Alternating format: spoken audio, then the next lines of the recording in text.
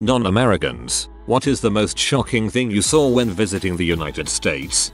Woke up early on vacation in Florida and the sidewalk outside my hotel was absolutely covered in lizards and it was amazing.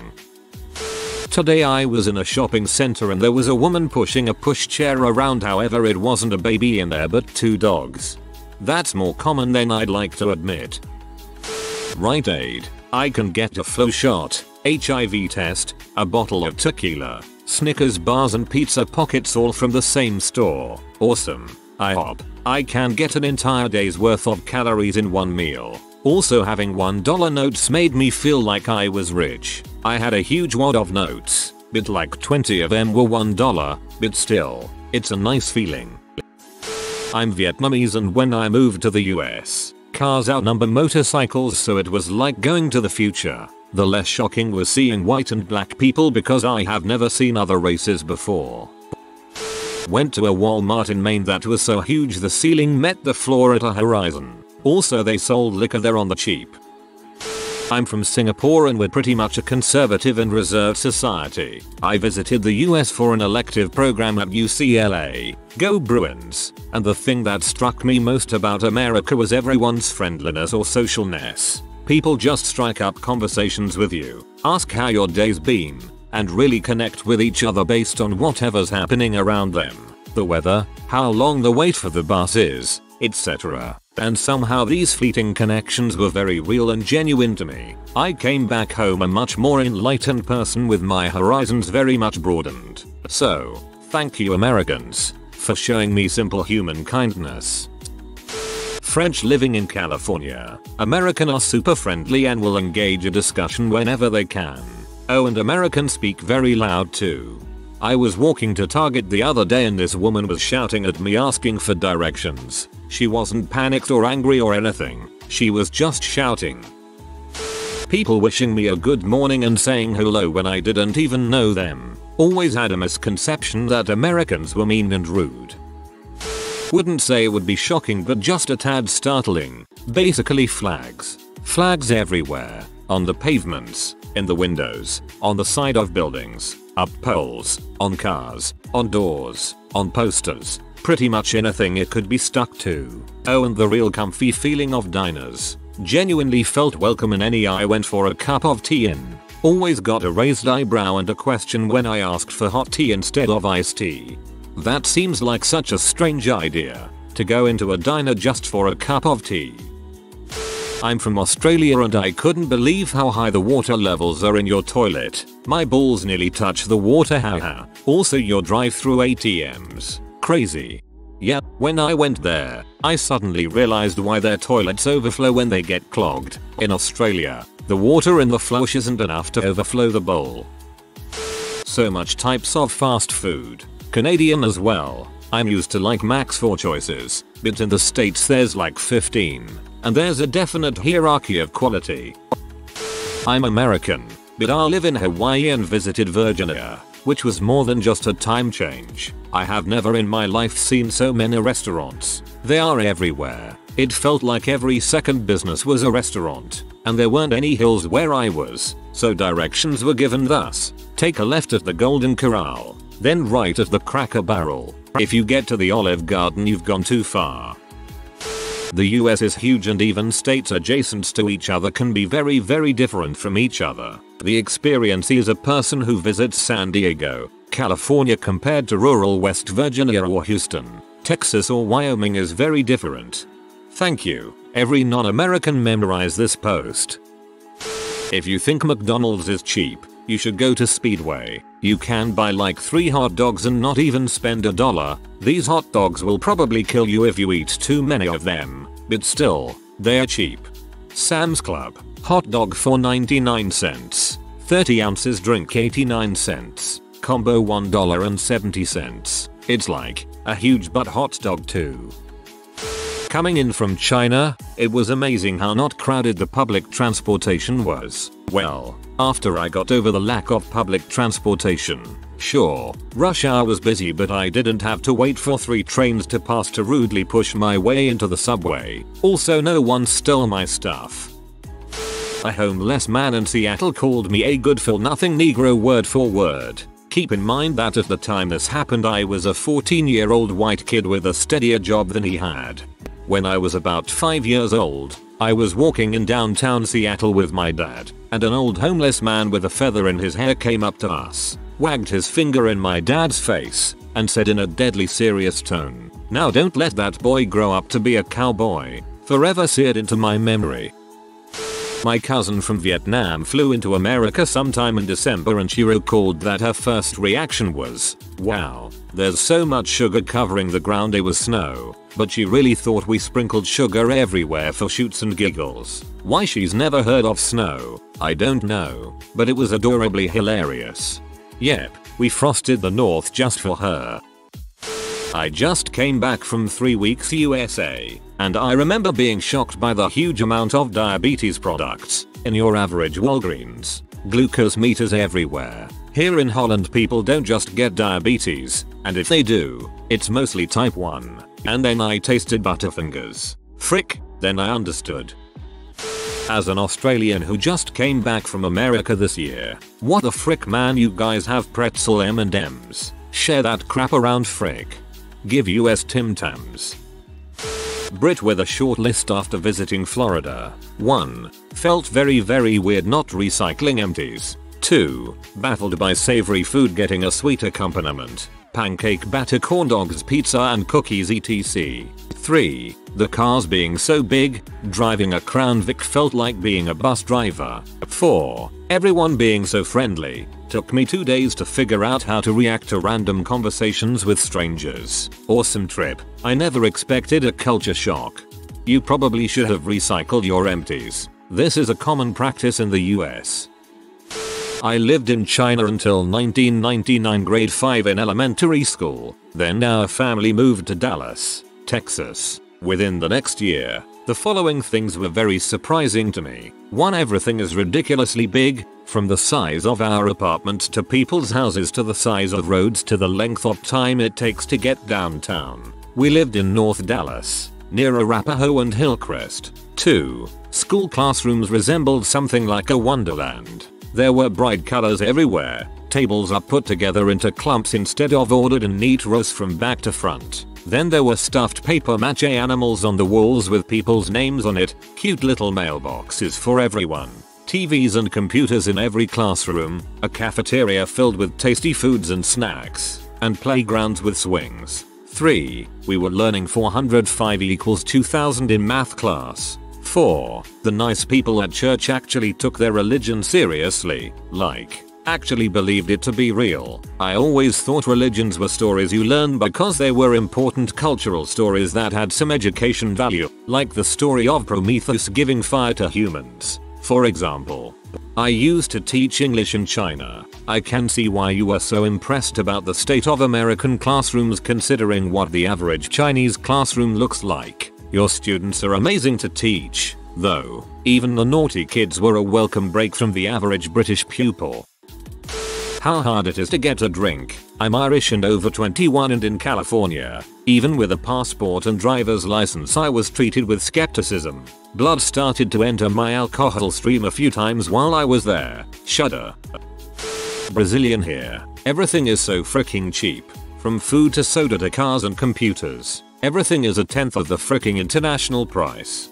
Whenever my buddy goes to Brazil on vacation, he has family there, he buys a laptop, iPod, etc. and resells it for like 10x the price. The Brazilian person gets a great deal, and he gets his vacation paid for. There were a few things, both awesome and scary which shocked. The obvious ones are food related obesity related, which have been said to death here and in other threads. For me, in a road trip across America, it was the sheer size of cities, towns etc along highways. Coming from Australia, the sheer number of people and large cities was astounding. NB I haven't been to China or India, and while I have traveled elsewhere, nothing compared to USA for me with regards to this. Tax, why not put a freaking price sticker that includes it so I don't have work out if I have enough money for everything. I went to a movie theater once where the prices were weird like $4.65 so that once you added taxes it came out to $5 even blew my mind. Canadian here. I first went to the US in the 90s when I was in my early teens. I had assumed that people would be rude and, worst case scenario, shoot me. I was shocked when people were friendlier than they were back home. So where y'all from followed by a big grin was the most common occurrence. It was awesome. Whoa that is cheap. Macca's meals here in New Zealand cost at least $8 and are upwards of $10 for a hunger buster or anything bigger. A huge sing advertising HempCon with a big cannabis leaf. In Mexico we're killing each other in a stupid drug war and in the US is so casual that they have conventions. It really shocked me. Comma the US is so casual that 1 in 8 people in prison are there for marijuana related charges. I was on the west coast for about 2 months a couple of years ago. I'm from the Netherlands. Things that struck me. 1. Portion sizes. Your small pizza is our large pizza. Your medium pizza is our family pizza. Your large pizza doesn't fit inside our borders. 2. Clean streets. I saw a lot of $1000 littering fine signs. Must have worked. Because there wasn't so much as a cigarette butt on the streets. 3. Space. You have a lot of it. Everything is bigger, taller, larger, wider and further apart. 4. Food is cheaper than in Europe. Alcohol is more expensive. 5. I figured out why you don't see a lot of American cars outside of America. I'll stop here before I insult people. 6. No aggressiveness at sport matches. I visited a Giants game in SF and couldn't believe my eyes when a Giants and Cardinals fan were sharing a couple of beers and eating hot dogs together while cheering for different teams. In Europe, we have to separate soccer fans from the moment they arrive in the game city until the second they leave to stop them from bashing each other's brains, uh, heads in. Also, the entertainment value with all the songs and games is much higher than in European sports matches. TL, DR. When you're from Europe and visiting the USA, it's like somebody puts the contrast on your TV on maximum and turns the volume up. Rich people are richer, poor people are poorer. Sweets are sweeter, laws are stricter, sports are more fun, everything is bigger and man, do you guys build crappy cars? It's just football fans who can't be trusted in Europe. Rugby fans are allowed to sit next to each other and drink alcohol etc. When I came to the states from Bangladesh I was shocked how rich people are so skinny and poor people are so fat in my country it was the opposite. I knew everything in America was bigger. What I wasn't expecting to follow the rule was the weather. I got caught out in a lightning storm as I was heading back to my hotel. And dang, that was huge. Far bigger than anything I'd encountered in the UK. Also, people were apparently worried about me because a tornado had passed within about 5 miles. I didn't see that one. However, I was also stunned by the size of Lake Michigan. I had a hard time telling myself that it wasn't the sea. You should see Lake Superior. It's absolutely massive. Live in Eastern Europe. There are squirrels here, but when I visited Washington, they were basically roaming the streets, instead of just sitting on trees like here. Not really shocking, just surprising. Since squirrels never get off trees here, and they live only in real forests, not parks etc.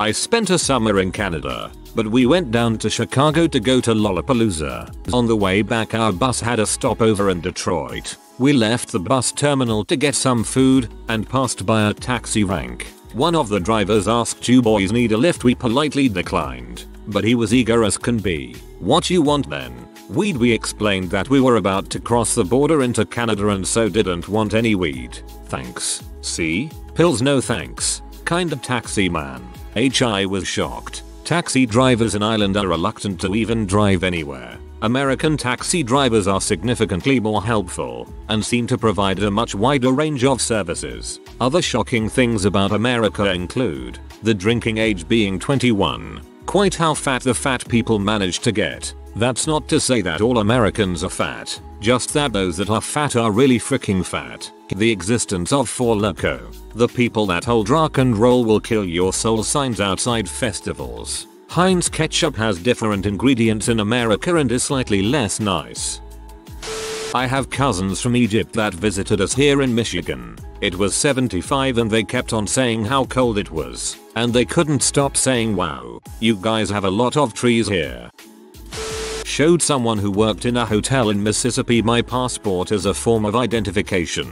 She had never seen one before despite working in the hospitality industry. I believe her exact words were wow, you've got like a whole book there. Not a non-American story but still the most shocked I have seen a tourist. I live in East Tennessee and we had some friends from Los Angeles come out and visit us for the 4th of July. Evidently these two girls had never seen a lightning bug before. About the time it starts getting dark one girl runs in and yells, Kelly, they have bugs here that fly and light up everybody was thinking this was a joke until the other California girl's eyes widen and she says shut up. My boyfriend is from Mexico and the other day he asked me, why do Americans put their flag on everything? Like, underwear, plates, doormats if you did that with our flag, you'll be immediately arrested. I never thought of that before. It is kinda weird that we almost disrespect the flag by putting it on everything. That's kind of funny, as I was born in a border town and everything blankets, hats, home decorations, seem to have had the Mexican flag on it. Maybe it's a newer thing. American here. Analysis of this thread. People are nice. Everything is cheaper. Massive food portions. Even more massive people. And flags. You forgot religion. In the south, how in your face the religion was. Signs up on cafes. It being referred to a lot in conversation and just everywhere I got confronted by religion. The patriotism as well such as flags being up in so many yards. I had heard this but I guess I didn't expect it to be so much like the stereotypes I imagined in my head. I found Americans insanely friendly as well. Much more so than expected and this applied to all places I went to other than New York City. The size of meal portions at restaurants. Often enough to feed two people. Even chains that exist in Canada. So much more food at the American versions.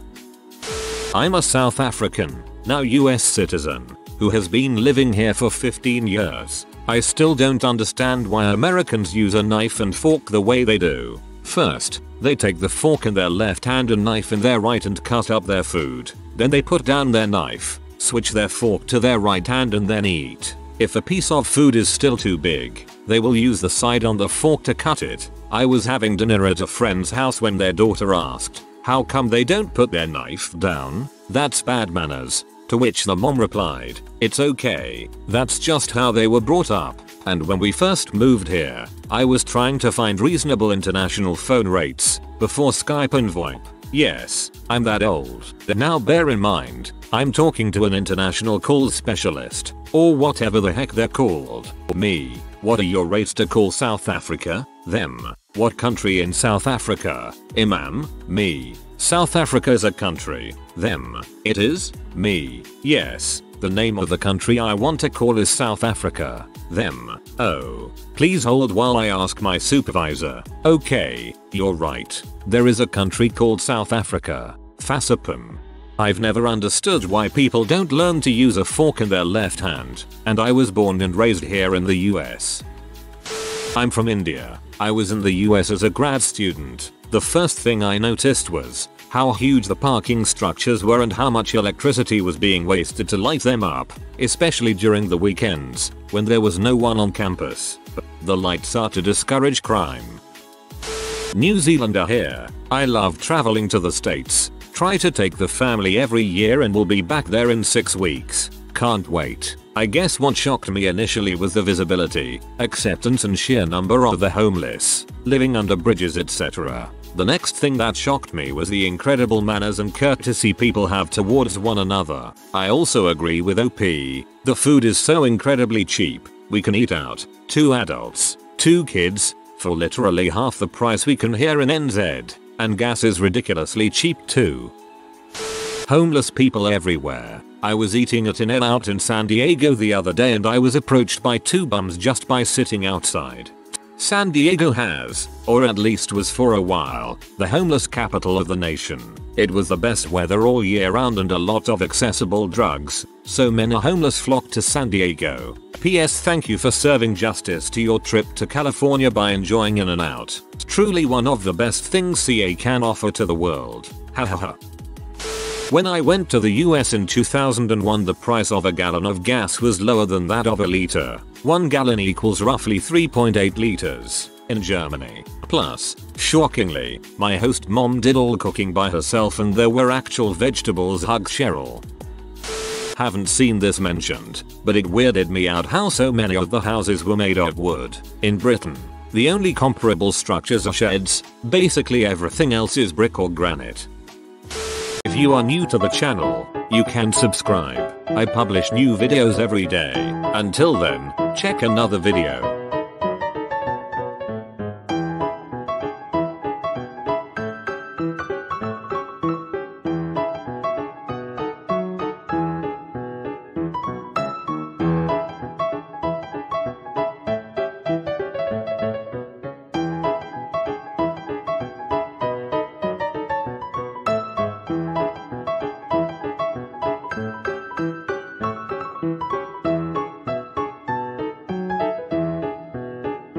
Bye for now.